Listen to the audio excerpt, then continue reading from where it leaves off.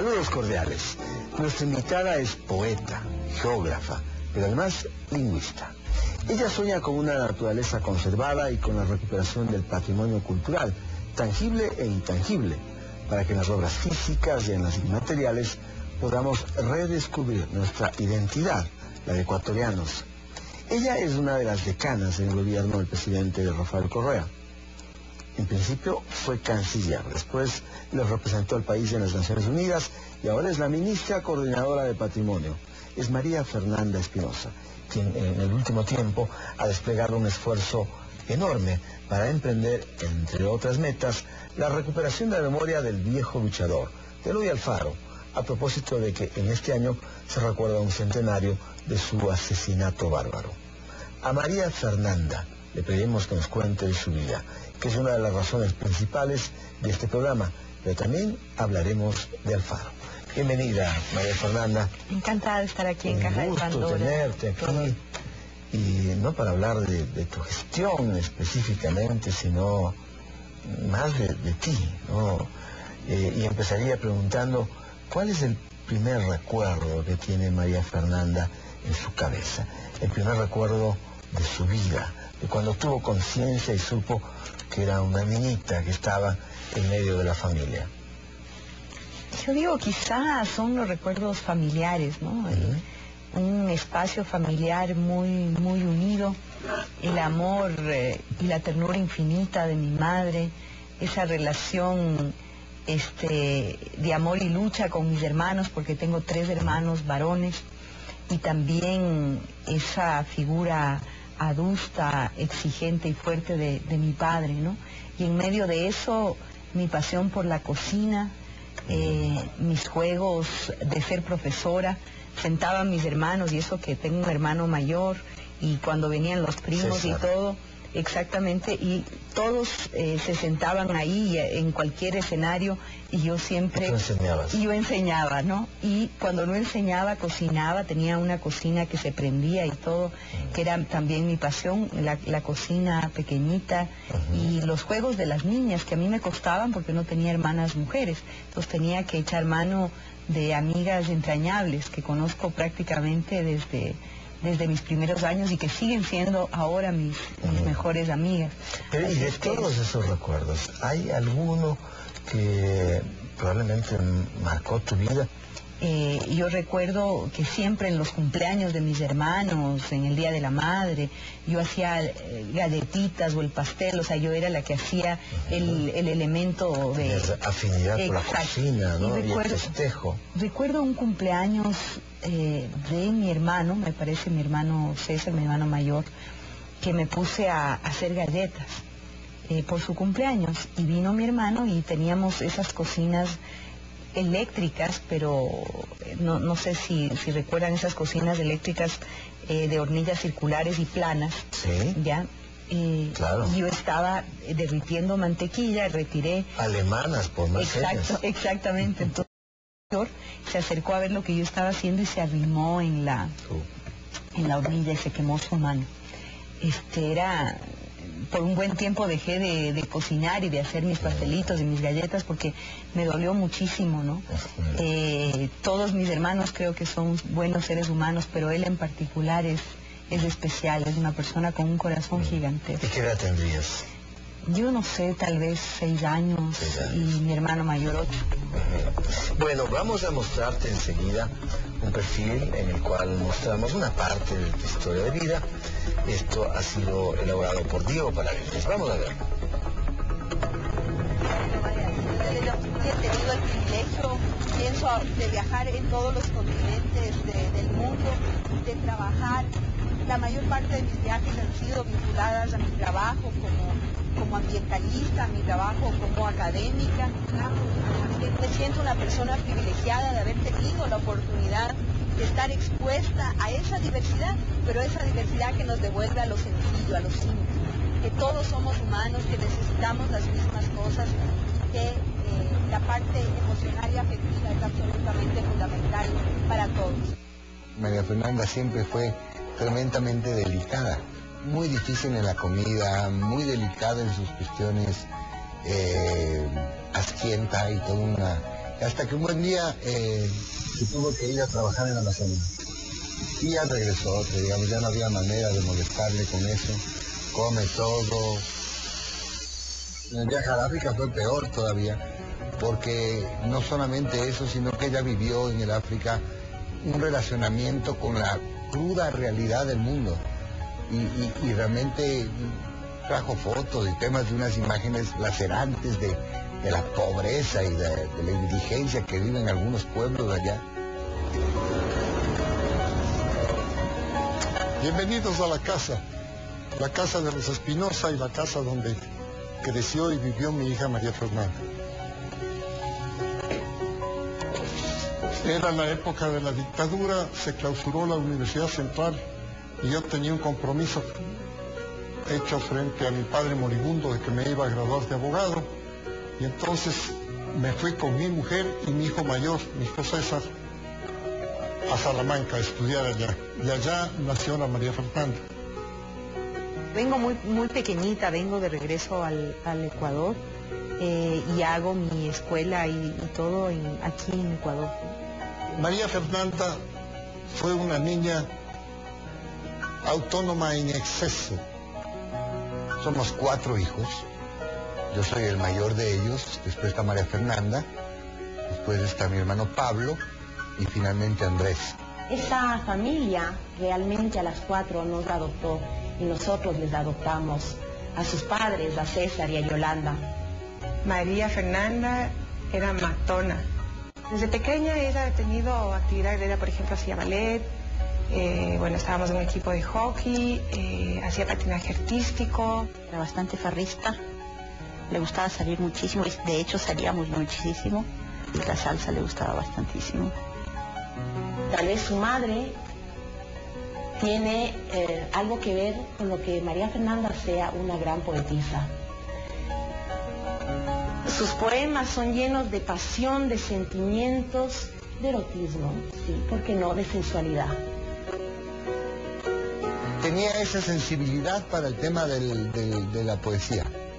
Y desde chiquita evidentemente escribía poesías del Día de la Madre y como nosotros no éramos tan hábiles como ella, ella nos hacía el favor y nos escribía los poemas a todos. Fundamentalmente el objeto de sus poemas era su mamá. Madrecita mía, tú eres mi estrella y guía, el cariño y la dulzura que derrama su hermosura.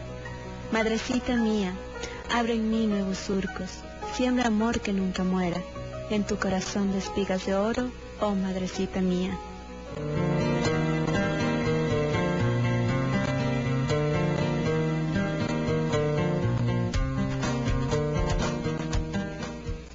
Eso queda después de la guerra, un espasmo de bronce, un quejido sin cuerpo, un reguero de cordones y ombligos, la memoria encogida, un atado de gritos que nunca se callan. Yo creo que hay un equívoco cuando se juzga a María Fernanda Espinosa solo como una poeta erótica, que tiene poeta, poemas eróticos, pero sí, y podríamos discutir ampliamente en dónde empieza el erotismo y dónde termina simplemente el juego del amor. Tiene la profesión de geógrafa y otra profesión de lingüista. Y entonces todo aquello ha dejado una huella ahí. Tuve el privilegio de, que uno de mis primeros trabajos fue en contacto con la Amazonía. Eh, hice, me acuerdo, una evaluación de la educación bilingüe en la zona Shuar y ese contacto con la selva, con la Amazonía y demás, a mí me, me abrió un mundo diferente, ¿no? Y realmente desarrollé una pasión por los temas amazónicos. Es por eso que después hago un diploma superior en estudios amazónicos y por eso después hice mi, doctorado en geografía ambiental. Yo veo que María ha, ha recorrido un camino largo, ha tenido piedras en el camino, pero ha sabido alzar todos los obstáculos que ha tenido enfrente realmente tenía ansiedad de sentirme justamente eh, teniendo una vida de barrio, una vida de comunidad, eh, una vida de vecindad eh, y efectivamente eso es lo que hemos encontrado, mi esposo y yo aquí en San Marcos. La gente es muy amable, muy hospitalaria y sentimos como si estuviéramos en el Quito de los años 60 realmente. Les invito a que pasen al lugar donde vivo, a este hermoso condominio que es el condominio Plaza San Marcos, histórica construcción del siglo XVIII, restaurada, y también aquí pues un- una vida de, convivencia. Estaba en video. Sí, sí. en la vida uno no puede tener todo. Pero ¿qué pasó con María cuando estuvo, eh, cu- cuando estuvo en África? ¿No es cierto? Ella dijo, yo no puedo tener un hijo encargada a una niñera en Suiza, mientras yo estoy aquí cargando niños muertos. ¿Le, le gustan los niños? Una parcial frustración. Es una mujer que ama profundamente. En la política creo que es está conectada completamente con eso. Querer cambiar al mundo, es una soñadora. La vida es una, es una lucha permanente, pero es un descubrimiento permanente. A veces las cosas salen bien, a veces no tan bien. ¿Qué es lo que eh, tú quieres cambiar de modo particular? Has hecho muchas cosas importantes. ¿Qué falta por cambiar desde tu gestión? Yo diría mucho, básicamente la injusticia, el racismo, la exclusión, eh, la deslealtad. Yo pienso que hay eh, cosas que dentro del- de la condición humana no deberían existir, pero evidentemente eso es un sueño porque los humanos, los seres humanos somos eso, somos una mezcla de cosas, ¿no? Podemos ser las personas más maravillosas, eh, eh, más dignas y a la vez podemos eh, caer en las más profundas miserias, ¿no? Y yo pienso que, por ejemplo, la colonización, es decir, el someter a otro pueblo, igualmente humano, igualmente maravilloso, igualmente igual, eh, es algo que ha marcado la historia de la humanidad. Y no solo hay sometimientos eh, físicos, sino hay sometimientos ideológicos. ¿no? En, en la cabeza tenemos ciertas maneras de pensar. Me parecería que ese es el sometimiento más duro todavía. Así es, y yo pienso que eh, eh, nuestro compañero presidente siempre dice el cambio cultural es, es el más difícil, y es así. Es decir, cómo generamos una acción colectiva, una conciencia colectiva de un esfuerzo único de los seres humanos, de ser mejores seres humanos, más generosos, pensar en los demás, pensar en el sufrimiento del otro, pensar en las, en- en- sí, en el sufrimiento, en las carencias del otro y pensar también en las propias debilidades de nosotros, de nosotras, ¿no? Como seres humanos, es decir, que no somos todopoderosas, que no somos eh, infalibles, eh, que somos eso, que somos fundamentalmente seres humanos. Yo pienso que si existiera una, una conciencia sobre eso, el mundo sería diferente. Muy bien, vamos a hacer una pausa. Amigas y amigas, esta es la primera parte de la caja de Pandora, donde hemos empezado a indagar el pensamiento profundo y la historia de vida de nuestra invitada, María Fernanda Espinosa. Venimos enseguida, no se vayan. Al volver, descubra cuáles eran los distintos apodos que a María Fernanda Espinosa le pusieron en el colegio. que me decían infierno en la torre, porque tenía el pelo bastante rojito, me decían poco de carnicería, porque era muy pecosa.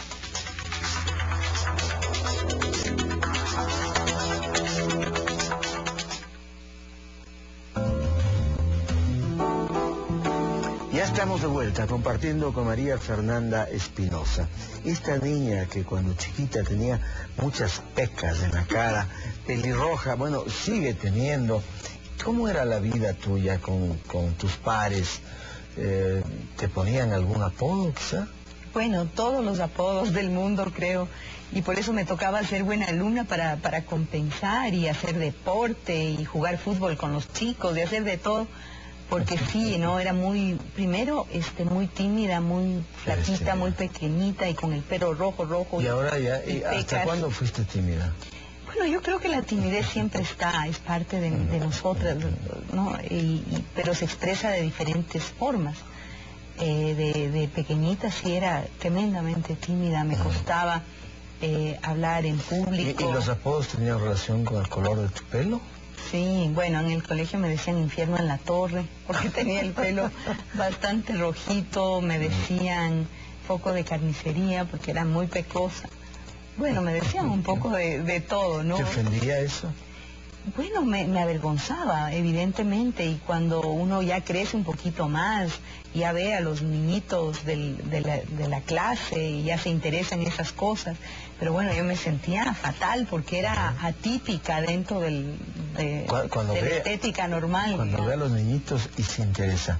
O sea, cuando encuentras que tienes un género y que Exacto. hay otro género allí, Sí, sí, bueno, eso, pero también yo pienso que desde muy pequeños buscamos eh, una legitimidad en, el- en- los en- en grupos, el grupo, en, claro. en el aula de clase, es decir, cómo se legitima uno frente a los otros, ¿no? Y en mi caso la forma de legitimación quizá era ser la mejor alumna, si podía. No, eh, por ese lado, porque por los otros lados no había, no había manera. por eso eres matona, como dice una de tus Ah, mi amiga Patti, que por cierto me dio una felicidad enorme verla porque ella vive ahora en Francia y viene, viene de vez en cuando acá, pero eh, las tres personas que salían en el, en el video, pues Tus tres amigas, ¿no? son, Son la- tus, tus tres hermanas prácticamente. son mis tres hermanas, hemos sido las tres mosqueteras como corresponde, con Dar- D'Artagnan, Claro. las cuatro. Somos amigas desde que tenemos cuatro años y falta una persona más que vive en Estados Unidos ahora, se llama Sonia Lenk. Hemos sido las cinco que hemos crecido ¿En qué colegio estuviste? Estuve en el colegio La sí. Ujú. toda la vida, a los 12 años de escuela y de colegio.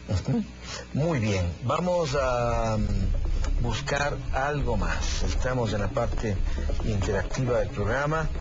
Eh, tenemos naturaleza, derechos, vida. Eh, ¿Por dónde quieres empezar? En el orden que tú prefieras. Vamos por naturaleza y esa hermosa foto que Esa, esa foto preciosa, Sí. ¿no? Parece, parece ser el Cotopaxi. Sí. Y Limpiapungo esto, ¿no? Limpio pongo el coto- Sí. Bueno, tú tienes el control, María Fernanda. A ver. Por favor. A ver, a ver, vamos acá. También como soy zurda tengo problemas.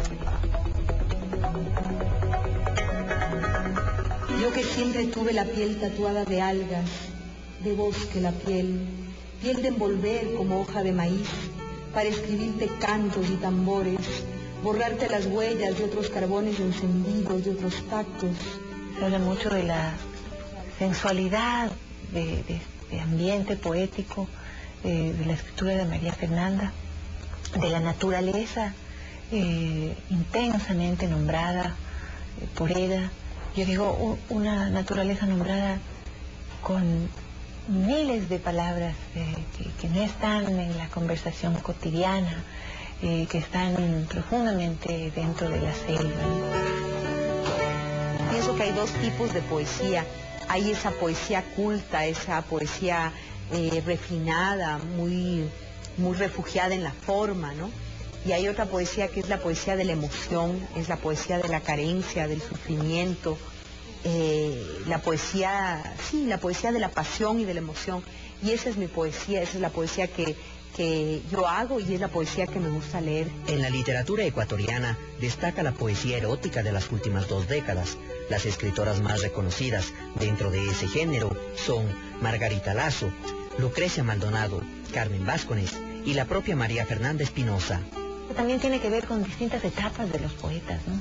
O distintos poemas de los poetas, ¿no? Eh, creo que lo del erotismo de cualquier forma eh, fue notable en el momento en el que hay algunas voces de mujeres que se hacen públicas, que se publican, y quizás este es el, este es el caso. Yo sí creo que el tema de la, de la literatura y de la poesía escrita por mujeres con temas eh, amatorios, eróticos, se da también por un proceso de liberación de las mujeres, de ocupar esferas que, les que le eran vedadas y tratar temas que también les estaban prohibidos. Las tardes a las tardes son iguales. Las manos y el espacio de Jacinto. El amor es una esfera enorme de la vida social, pero que ha sido tratado de varias maneras a lo largo de la historia humana. Y yo creo que eh, en el er- erotismo más amplio, María Fernanda se luce. Fui rumor de bijao en tus pies fríos. Tuve la anatomía de la luz entre las piernas. y toda la fauna alborotada en mis lagunas de savia y saliva. Quiero volver a ser con otra piel en la que no estés, como tiesto y mucagua de mi deseo que te borra, deseo que te borra. Muy bien.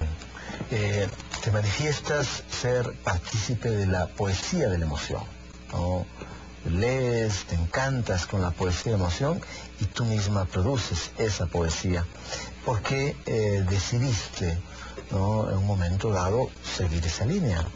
Bueno, eh, yo creo que evidentemente hay poetas como Borges, por ejemplo, que es uno de mis referentes más importantes. Él, él es quizá uno de los padres de la poesía de la sofisticación, eh, de la poesía del elipsis, eh, eso, ¿no? De la poesía de la forma, ¿no? Y también eso es parte de la educación poética que debemos tener. Pero creo que la condición de poeta es casi está en el ADN, es una forma de ser, es una forma de vivir, es una forma de mirar.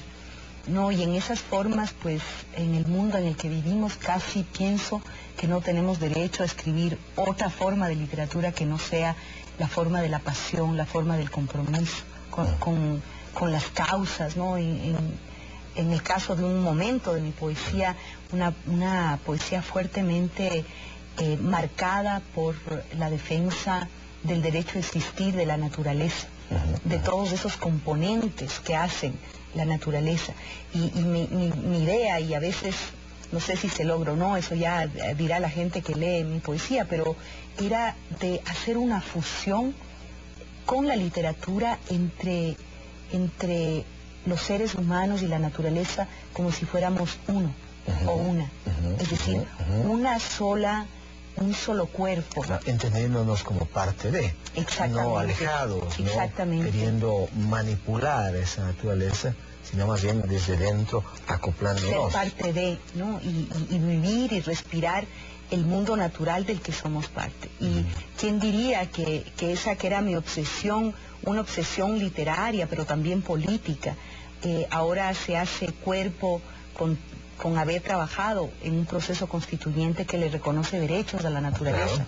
Y ahora ser la ministra del patrimonio cultural y natural donde el propósito fundamental es ver esta articulación entre la naturaleza y la, y la cultura, que además rompe toda la lógica occidental, porque eh, toda la epistemología de Occidente es esa separación. La civilización es muestra justamente de esa capacidad de los humanos de controlar eh, la naturaleza, de colonizar la naturaleza.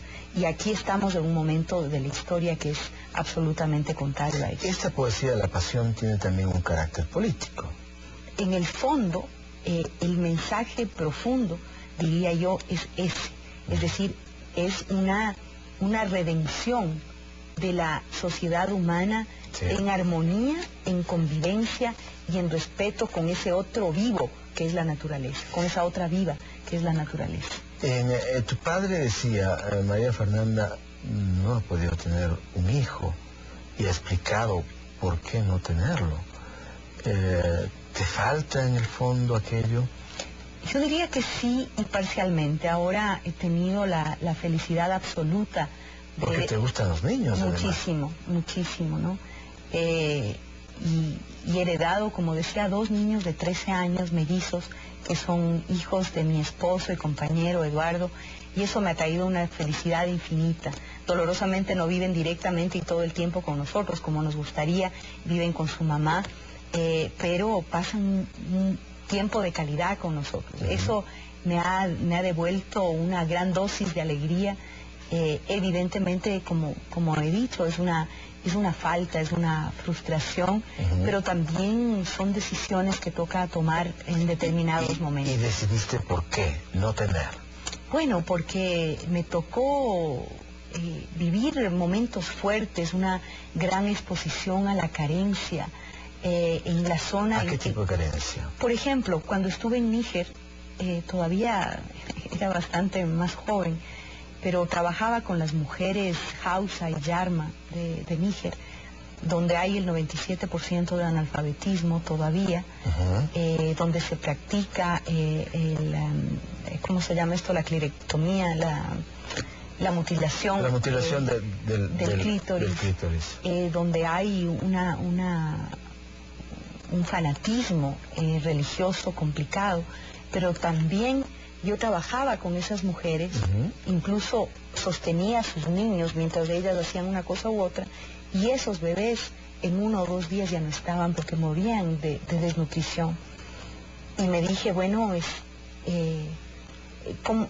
es decir, el- la maternidad para mí era tan importante que quería ese momento perfecto, ¿Y tú esa situación perfecta. acoplada a ese modo de vida?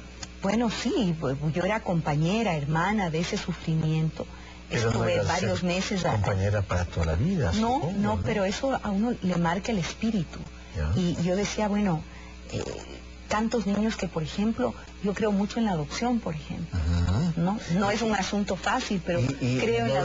descartas adoptar un niño? No, te- es una ¿No, decisión no en compartida. tus planes? no es algo que descarto en absoluto y es una conversación que hemos venido teniendo con, con mi esposo.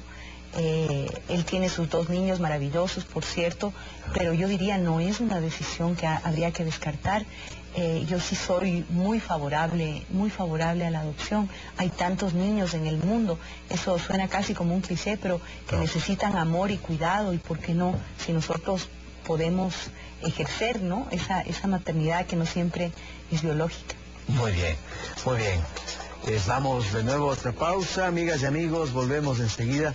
Tenemos eh, cosas muy interesantes que plantear a María Fernanda y ella nos contará de su vida, de esa vida que queremos conocer. Venimos enseguida. Cuando volvamos, vea por qué María Fernanda Espinosa siente nostalgia al recordar a su madre. En sus últimos años mi mamá era solamente amor, ¿no? Era, sí, una fuente inagotable de amor y de, llevar su, su dolor y su sufrimiento con, con dignidad y eso creo que nos enseñó mucho, mucho a todos, ¿no?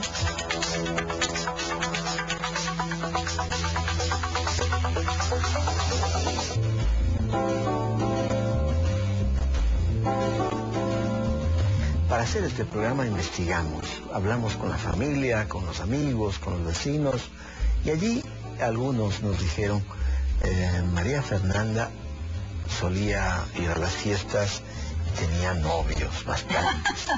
¿Es verdad eso? Yo, eh, bueno, realmente mi papá era demasiado estricto, así es que no había chance para Pero eso. Mi papá no me daba permiso para las fiestas y cuando me daba permiso me tenía que ir con mi hermano mayor. ¿Así? Claro, entonces... eh, y, y él controlaba que... Bueno, él era buenísimo, ¿no? Pero no se crea que no, no hacía esa función así de auditor permanente, ¿no? Y, eh, y para mí era un sufrimiento. Entonces, realmente los espacios sociales ocurrían más bien en la casa, en la casa nuestra. Porque mi papá decía, prefiero que tus amigos vengan acá. Y mi mamá le encantaba. Mi mamá tenía esa, esa capacidad de, de moverse, eh, podía conectarse bien con las personas, eh, con los adultos mayores, los viejitos y los jóvenes y los niños. Entonces ella era parte de la jorga nuestra.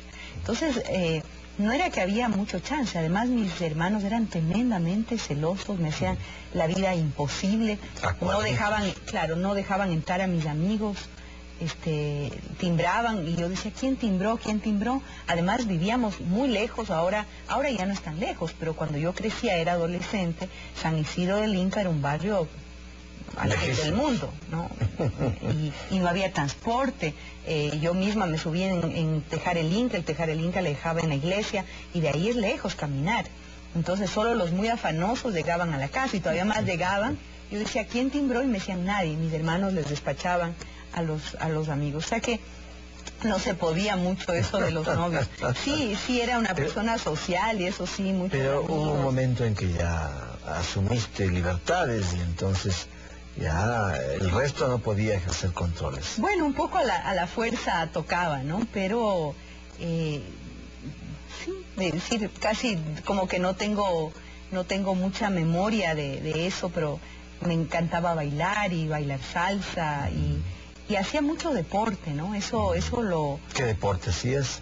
bueno, de muy chiquita este, hacía ballet clásico, Claro, después jugué visto. hockey, eh, hockey en patines, que era un deporte bien Duro, rudo, ¿no? bien Claro. rudo, tengo todos los dedos de los pies, de las manos rotas por, por eso.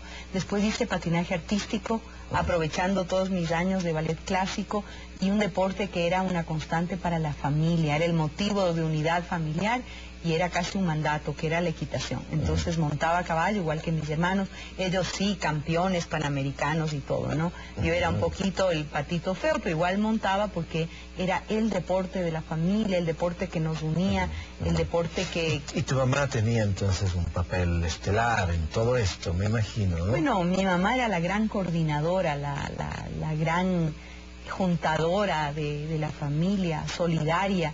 Eh, mis hermanos en un momento dado fueron ciclistas, entonces mi mamá a las 4 de la mañana cargando las bicicletas para que mis hermanos entrenen. Y, eh, no recuerdo bien, pero de mis tres hermanos al menos uno con, con medallas, con premios importantes y todo. Y bueno, mi papá era el suscitador. Eh, para él el deporte era muy importante porque tenía que ver con la disciplina, pero también con la unidad familiar. Claro. ¿no? Entonces, eh, eh, yo creo que eso nos hizo mucho bien.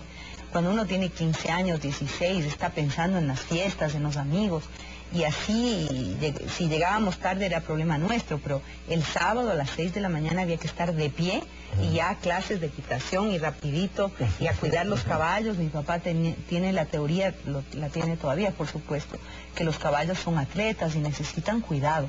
Y es quizá uno de los Y- y deportes de más exigentes. ¿no? Por supuesto, es decir, eh, cuando uno trota o, o hace cualquier otro deporte, es todo depende de nosotros. Cuando hace un deporte como la equitación, hay otro ser vivo que depende de nosotros y que es un atleta igual que nosotros. Entonces, Y de eso son una forma pareja que deben acoplarse Así, muy bien. así es. Eh, Yo tengo aquí detrás de la cortina algo que queremos también mostrarte, ¿no? que forma parte importante de tu vida y lo vamos a hacer en este momento para que tú puedas mirar y podamos hablar de ese tema. el gran referente eh, de María siempre su madre Yolanda. Para María Fernanda, mi mamá fue su amiga, su confidente, su compañera. Este amor infinito igual, pero con, con esa complicidad entre dos mujeres que se adoraron toda la vida. ¿no? Y ahora era una mujer especial. Ella escribía también, eh, eh, componía música. Te- tenemos todavía el recuerdo de eh, canciones muy lindas hechas por Yolanda y quizá la más hermosa hecha a su hija, que- que se llama María justamente, ¿no? María, la dulce bendición del alma mía. La niña de los dulces sentimientos, la niña de los ojos de mi adentro, la niña de mi amor dulce María. Yo canto a la dulzura, al sol y a la alegría, al sueño que siempre tuve en mí desde muy niña. Yo canto a la sonrisa abierta, a la ternura, al despertar del día, la hermosura. Te canto a ti, mi amor, dulce María. Dulce María. Este, ¿Qué pasó? ¿Murió pronto tu mamá? Sí, dem- demasiado pronto realmente, ¿no? Y, y murió de una manera injusta porque sufrió demasiado. Y pienso que hay gente que no merece, que no merecen sufrir tanto, ¿no? Ella tuvo un, un cáncer horrible, horrible, que nos, nos dolía a todos, ¿no?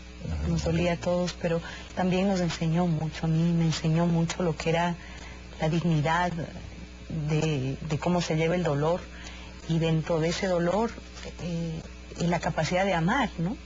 En sus últimos años mi mamá era solamente amor, ¿no?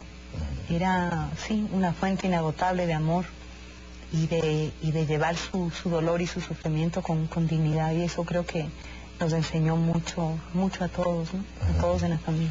Y ella te incursionó en el mundo de la música, te, te impulsó también. ¿no? Bueno, eso con no tanto éxito, ¿no? Eh, Mi mamá tocaba el piano, tocaba la guitarra, componía, era una mujer de una alegría infinita y a mí siempre desde pequeñita me encantó la música.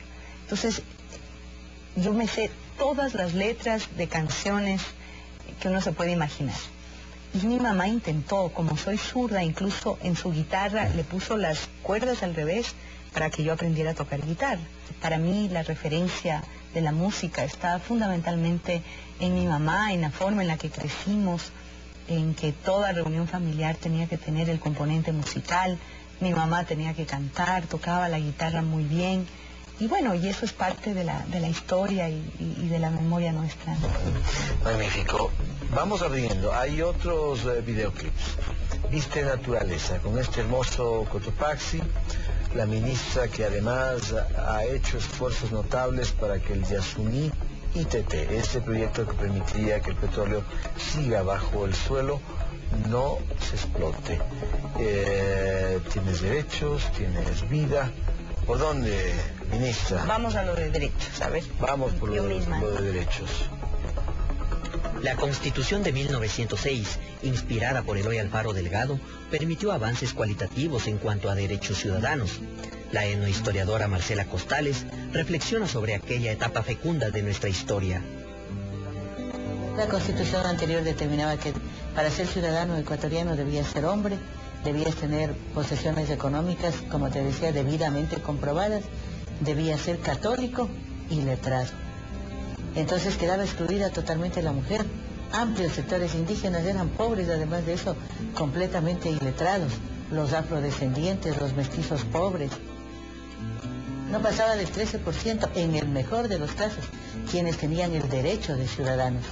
Entonces, como tú verás, el 87% de la población ecuatoriana no gozaba de esos derechos. Frente a las mujeres había un doble marginamiento. Por ejemplo, la mujer indígena era marginada por ser mujer y por ser indígena. Este doble marginamiento determinaba no solamente la exclusión social, sino también la pobreza extrema. El derecho a la ciudadanía y con ello a la educación, al divorcio, proyectaron una sociedad diferente. La creación de instituciones como los correos o el registro civil ayudaron a reemplazar roles que antes tenía la iglesia. Y de esta manera, la revolución liberal también compensaba el aporte a la revolución de mujeres luchadoras y de sectores relegados antes por un Estado elitista. Hay mujeres que tienen realmente una talla fenomenal. La misma ñata Gamarra, esta combatiente y montonera, esta mujer hermosa a la que la copla Montubia le recuerda en la memoria oral, en la tradición oral, y te dice la copla Montubia, adiós ñata bonita, combatiente y montonera, dame en el cielo una cita, la patria de nuevo te espera. Como muchas otras mujeres de las montoneras y de las alparadas, es un símbolo de la mujer que estuvo en el combate de la revolución liberal radical. Que habría que regresar los ojos también a centenares de mujeres que fueron parte de las montoneras y alfaradas, las guarichas, las soldaderas, que eran compañeras, amantes, esposas, enterradoras, zapadoras, artilleras, cocineras, eran las que quedaban en los campos de batalla recogiendo a los heridos, ayudando a los, agonizantes. Eran estas mujeres que dejaron todo, que nunca pidieron una medalla, un reconocimiento, un ascenso, porque no, la mujer generalmente nunca vio con carácter mercenario su trabajo dentro de, los, alfaradas y las montoneras. Allí está. Eh, muchísimas mujeres anónimas o poco conocidas que eh, se mantienen todavía bajo sombra. El Estado ecuatoriano, la sociedad nuestra, no le debe, en favor de ser justos con la historia, no le debe un reconocimiento a esas mujeres. Yo creo que definitivamente, porque la historia, y no solamente la historia del Ecuador, sino la historia del mundo, ha sido por lo general escrita y pensada por los hombres. Los grandes historiadores. los hombres que ganaron la guerra. Exactamente, ¿no? Entonces, eh, no solamente eso, sino también aquellos historiadores que eran parte de las, de las élites dominantes. Entonces, ¿cuál era la versión de la historia? La versión de la historia que se nos daba era una versión masculina, donde todos los héroes eran hombres y eh, las grandes gestas eran de esos grandes hombres, por lo general pertenecientes a las más rancias aristocracias, a las élites, ¿no?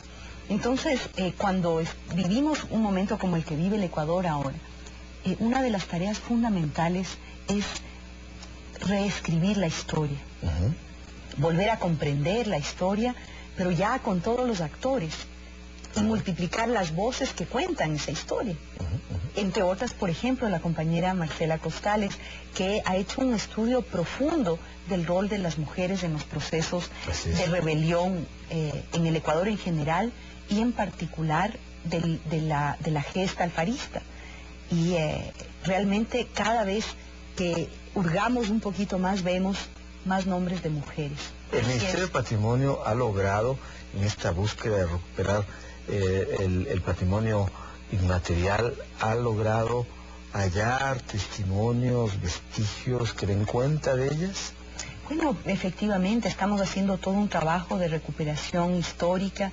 Eh, la propia existencia de Ciudad Alfaro eh, es ahí quizá uno de los centros de pensamiento y de reinterpretación de la historia alfarista. Eh, es ahora, eh, con la Revolución Ciudadana, por ejemplo, que le hemos dado el justo lugar a Manuela Sáenz, no como una acólita, sino como una gran heroína, la generala Manuela Sáenz, la estratega, la pensadora, que estaba ahí escondidita en la historia casi, como digo, como un apéndice como un apéndice de Bolívar cuando, cuando no, eran pares y, y como una mujer protagonista.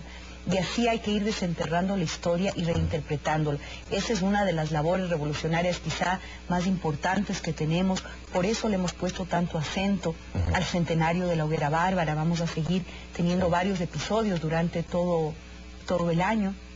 Empezamos con mucha fuerza fin, el 28 de enero, ¿no? Y eh, cada mes tenemos un acto, este mes de febrero pues fue hermosísimo este acto eh, organizado por la Asamblea de Nicaragua, donde se ratificaba el nombramiento de general de división a Loy Alfaro, porque no fue aquí que se le nombró general de división Alfaro, sino por parte de la Asamblea de Nicaragua. internacionalista Loy Alfaro. Así es, entonces eh, esos, eh, yo pienso que construir carreteras, escuelas, puentes, hospitales, son esas deudas no pagadas que ahora estamos pagando pero quizá lo más importante que estamos haciendo es eh, dignificar la identidad ecuatoriana, nuestra historia, nuestro sentido de pertenencia a un proyecto maravilloso que es el proyecto de, edificación y construcción de la patria nueva.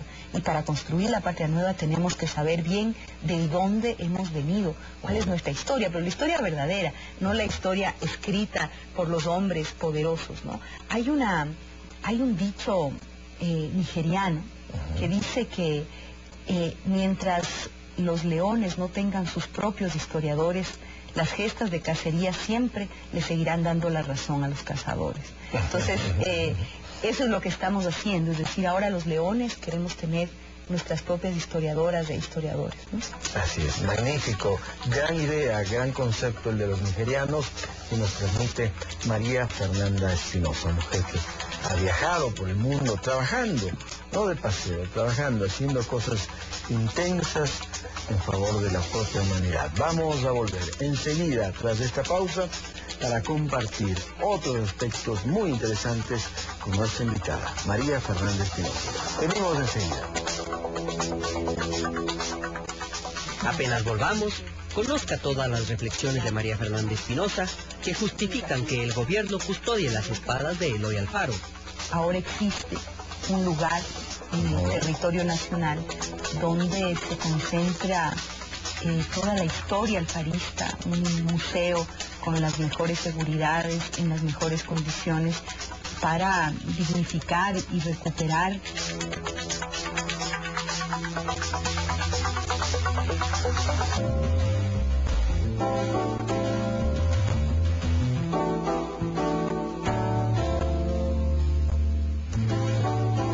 Estamos de vuelta, disfrutando de la presencia de María Fernández Espinosa en la caja de Pandora.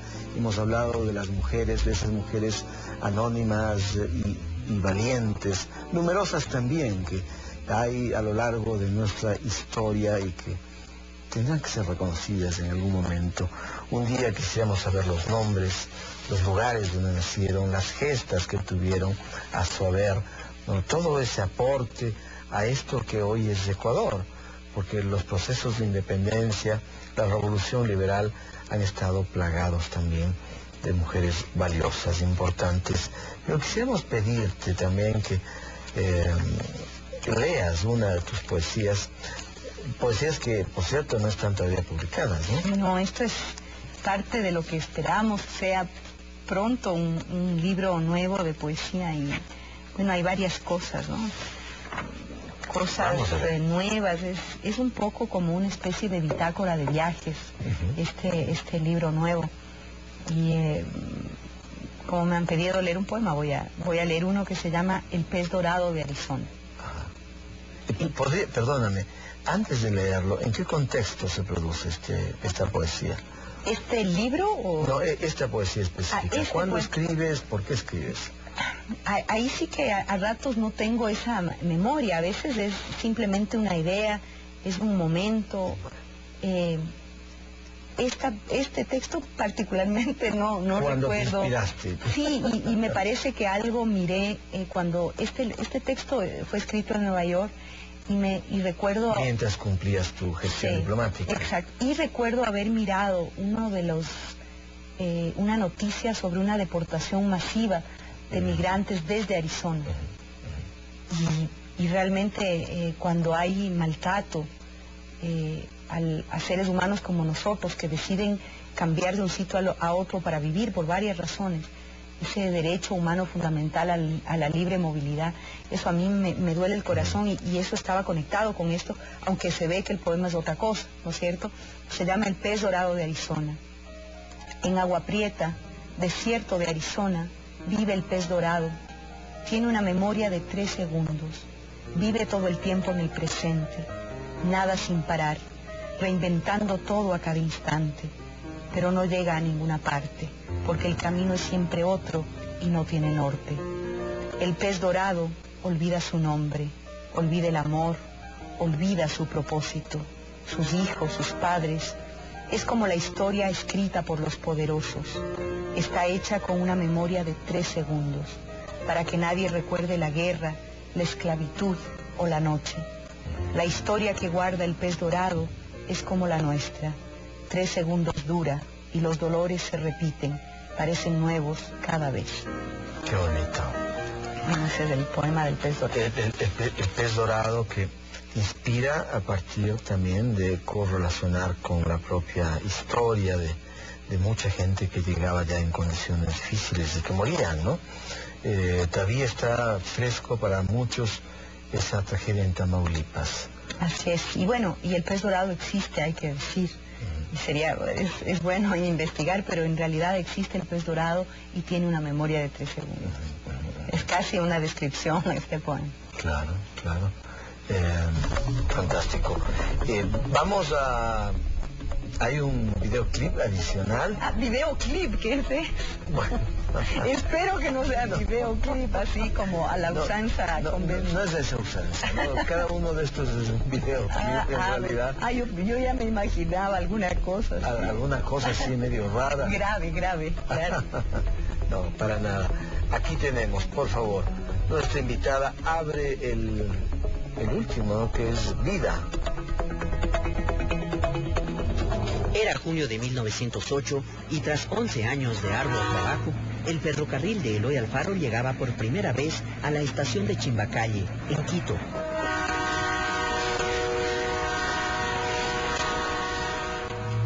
Debido a la complejidad de su construcción, al peligro que significaba construir rieles para atravesar los Andes, se lo llamó el tren más difícil del mundo. Las rieles, que tienen una extensión de casi mil kilómetros, implicaron una obra arquitectónica de gran inversión y de mucho tiempo de construcción. Con García Moreno, en 1873, se sentaron algunos cimientos para su construcción. Eloy Alfaro impulsó más todavía este sueño ecuatoriano. Y en 1965 se terminó la construcción del último tramo que unió Cibambe y Cuenca, Y aunque luego la desatención y el olvido opacaron al ferrocarril ecuatoriano, la restauración ejecutada desde hace pocos años ya encuentra beneficios en varios sectores.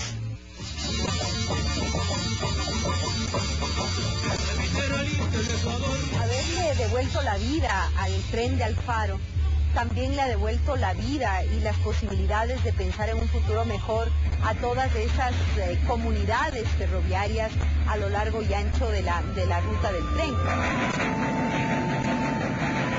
Olga Gómez recuerda su niñez con el tren y los beneficios actuales de su restauración. Yo vivo acá abajito, he, he vivido siempre. Cuando pasaba el tren era algo hermoso porque éramos pequeños y nosotros corríamos a ver lo que pasa, poníamos las monedas para que les pase el tren. De pronto ya dejó de pasar. Nosotros nos fuimos a, a estudiar, a trabajar.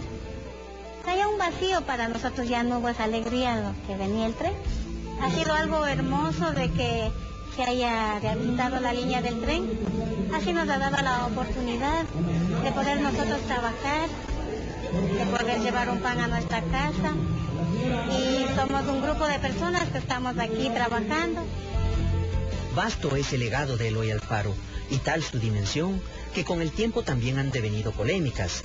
Una de ellas tiene que ver con quién debe conservar sus espadas, si Montecristi, la ciudad donde nació, o Guayaquil. Ahí está, un video que deja plantear una pregunta. ¿Quién debe custodiar las espadas del faro? Bueno, esas espadas le fueron entregadas al presidente de la República por el- la agrupación política Alfaro Vive Carajo. Pero la agrupación política no, no era de su pro- propiedad, Claro. las espadas. Entonces, Ellos tomaron... bueno, ellos han devuelto, devu- devuelven las espadas en un momento que les parece que el país es un país digno, que el país es un país con esperanza y con futuro, y se lo entregan eh, al presidente eh, democráticamente elegido por los ecuatorianos, eh, y, es así. Eh, evidentemente que ahora existe un lugar en el territorio nacional donde se concentra toda la historia alfarista, un museo con las mejores seguridades, en las mejores condiciones, para dignificar y recuperar eh, esta, yo pienso que quizá uno de los momentos históricos más importantes del Ecuador, Pero ha sido que- la lucha y la gesta alfarista. Hay que concentrar el espacio de la memoria, que Montecristi sea un sinónimo de Alfaro. no necesariamente, pero digamos que ahí las espadas están bien cuidadas, en este momento están siendo restauradas porque estaban realmente maltratadas, estaban eh, eh, en un Sin un cuidado. deterioro, sin cuidado. Pero hay que recordar que fueron sustraídas las, las espadas de un lugar que, que realmente no, no presta las condiciones. Recordemos que de ese mismo museo eh, municipal se robaron hasta el acta de fundación de Guayaquil. Se han robado muchas cosas de ahí, ¿no? Entonces, por el momento las espadas están siendo restauradas. eh, un poco eh, la, me parece que quizá lo natural sería que reposen en este espacio Pero que no está destinado a una eso. decisión final al respecto. Bueno, la entrega de las espadas la hizo No, al, al- en- al en- presidente. En cuanto a la custodia, ¿va a ser ya de modo definitivo en Montecristi? Nosotros entenderíamos que, que sí, ¿no? Eso, además que es, eh, se entrega las espadas del presidente, el presidente le entrega a, eh, a una institución, por cierto, claro, que tiene como fin fundamental este, la custodia de la memoria alfarista. En un espacio de museo en donde están también parte de los restos de Eloy Alfaro Delgado y, eh, y es un espacio que es destinado específicamente para eso. Ministra, quedan poquísimos eh, minutos, María Fernanda. Eh, no, ya nada casi. Eh, pero quiero preguntar, eh, ¿cuándo tenemos los ecuatorianos concluido este proyecto de restauración del tren? ¿No? A fines de este año, a finales del 2012. ¿Cuántos kilómetros significan? Bueno, es toda la vía Durán-Quito, más el tramo que hemos eh, reparado entre, entre Ibarra y Salinas, y ahora estamos trabajando en el tramo eh, nuevo, que será entre Otavalo y Ibarra, que tiene además una intención eh, de desarrollo turístico articulado a un gran proyecto en el que estamos trabajando de recuperar como un centro y un referente del diseño, la moda y el textil, eh, la fábrica textil Imbabura. Tenemos eh, varias, varias eh, temas en, en proyecto, eh, varias ideas. Lo que tenemos que primero garantizar es la sostenibilidad del, mode- del, del modelo tren, del tren patrimonial como Que un pueda refe- autosustentarse. Exacto, como un referente turístico, pero también como un dinamizador de las economías locales. La cantidad de empleos que hemos generado, la cantidad de microemprendimientos, la señora que hablaba Sí. es una microemprendedora que está a cargo de uno de los cafés del tren que han sido concesionados Sí. a las comunidades locales. Entonces, eh, eso es lo que eh, básicamente queremos profundizar, fortalecer todo el trabajo de generación de artesanías vinculadas al tren, las tiendas del tren, los hostales del tren, es decir, toda una red de economía popular y solidaria funcionando en torno al tren. ¿Cuántas personas podrán mover eh, mensualmente? Bueno, yo creo que depende cómo se avance en el, en el proyecto. Tenemos varios productos, desde un, un sistema de crucero de tres días de alto lujo para las personas que tienen capacidad de, de- de pagarlo, pero también para los mejores ecuatorianos.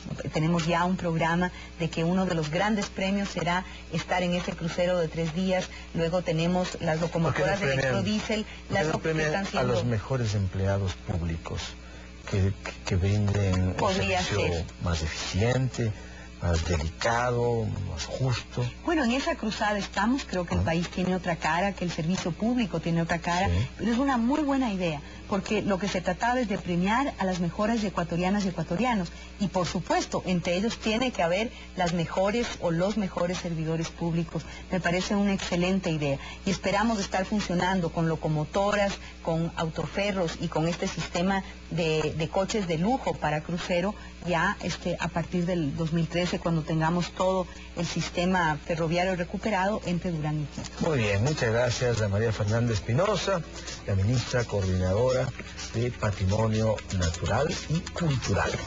Ella, poeta, geógrafa, lingüista, también nos ha contado gran parte de su historia de vida. Espero que ustedes hayan disfrutado, al igual que lo hemos hecho nosotros. Les mandamos un gran abrazo, escríbanos, sugíranos nombres de eh, personas que deben estar en este programa. Recuerden que la televisión pública la hacemos juntos, en Vinca. Que pasen bien. Hasta pronto.